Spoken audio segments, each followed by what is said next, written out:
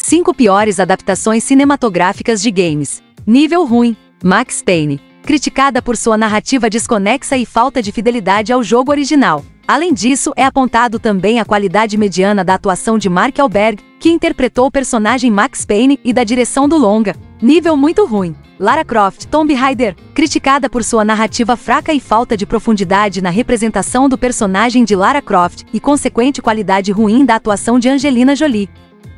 Nível ruim com força. Super Mario Bros. Esta adaptação foi amplamente criticada por sua narrativa desconexa e por sua falta de fidelidade ao jogo original. Além disso, qualidade ruim dos efeitos especiais e da atuação dos atores. Nível sem adjetivo de tão ruim. Mortal Kombat 2, Aniquilação. Amplamente criticada por sua falta de fidelidade ao jogo original e por sua narrativa fraca. Alguns críticos também apontaram para a qualidade ruim dos efeitos especiais e da atuação dos atores.